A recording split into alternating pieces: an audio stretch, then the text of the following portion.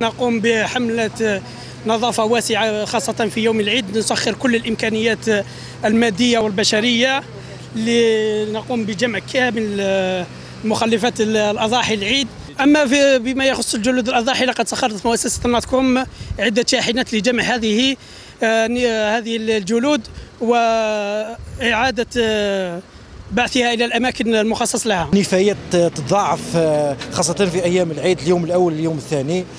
بالنسبة لجلود الأضاحي إحنا كنا قمنا بعملية توعية وتحسيس على مستوى الأحياء في الأماكن العامة. قلنا للناس باللي مؤسسة نتكوم خصصت أماكن لرمي ولا لوضع الجلود.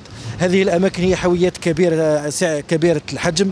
يمكنهم وضع الجلود في هذه الحاويات اللي يحب يعرف الأماكن يقدر يدخل عندنا الصفحه الرسميه للمؤسسة أو صفحة ولاية الجزائر.